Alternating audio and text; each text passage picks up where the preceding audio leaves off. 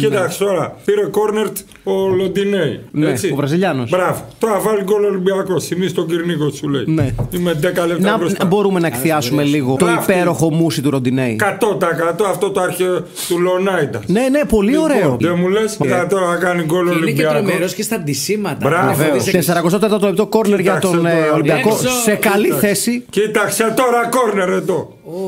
Κυρία για τον Ολυμπιακό γκολ. Τι σου πω Κυρνίκος; Γκολ Ολυμπιακός 0-1 Πρόσεξε. ο Αλεξανδρόπουλος. Πρόσεξε. Ο Αλεξανδρόπουλος Πρόσεξε. ανοίγει το σκορ. Ο Κυρνίκος, επειδή είναι από αλλού, ξέρεις 3D, σας είπε: Κοίτα τώρα κόρνερ για τον Ολυμπιακό. Το βουλώνω και δεν ξαναμιλάω. 100%. Ο Αλεξανδρόπουλος λοιπόν ανοίγει το σκορ 0-1 στην εκπνοή του πρώτου ημιχρόνου. Δεν μπορώ να κοιτάξει ο Ράπης. Δεν το πω εγώ, το πω Κυρνίκος. Δεν αφήνει περιθώρια αντίδραση Τι στο να κάνω, Ροντίκιν. κάποιο αγαλμά που μη Πολύ ωραίο τελείωμα. Ωραίο γκολ, ωραίο. Ωραίο γκολ, ωραίο γκολ, ωραίο γκολ, ωραίο γκολ, άλλο νιώτια μόνο ρε.